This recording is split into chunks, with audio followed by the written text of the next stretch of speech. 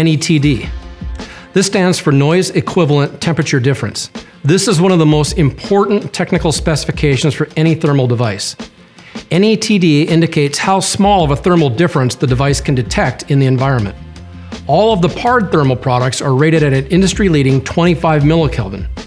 Many other manufacturers are 35, 40, 50, or even 100 millikelvin. Like pixel pitch, smaller is better.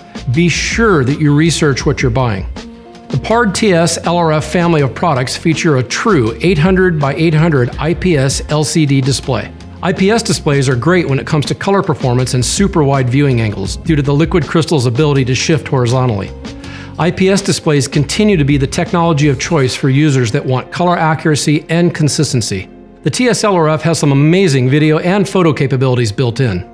You can capture 768 by 768 HD MP4 video with the TS LRF and store this data on the removable 128 gigabyte micro SD card. 1536 by 1536 resolution JPEG photographs can be taken with all of the TS LRF models. Laser rangefinder. We all know that determining distance in the dark of night is very difficult, if not impossible. PARD has solved that issue. The laser rangefinder accurately calculates distances up to 1200 yards, one of the most innovative and technological features is the built-in ballistics calculator. This feature provides you with the ability to instantly determine changes in shot placement with the push of a button.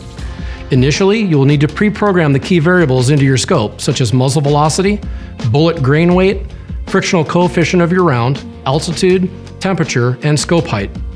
See our video tutorial on how to calculate scope height if you're not sure how to do this. You can save multiple profiles for different rounds that you may use. Once these parameters are pre-programmed in, you can use the laser rangefinder to instantly calculate and digitally adjust your reticle to a new point of impact. No more fumbling with windage or elevation adjustments like on a traditional optical scope. Just push the button to range your target and let technology do the work. The LRF distance instantly feeds to the ballistics calculator and a new center point is calculated and displayed within your sight window. Put the center of the crosshairs on the target and pull the trigger. It's that easy.